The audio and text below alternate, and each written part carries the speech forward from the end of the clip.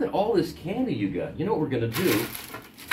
We're gonna give all this candy to Jimmy Kimmel. No. Yeah, I think Jimmy Kimmel's gonna want to eat this candy more than you do. No. No, Jimmy Kimmel, you know, he loves candy. Oh,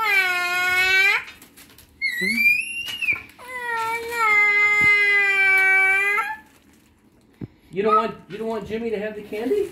No. Well, you know, we ate most of your candy already. This is all that's left, and so we thought it'd be a good idea. Just, just put, it, put it in the mail and give it to Jimmy Kimmel. Oh, this one too.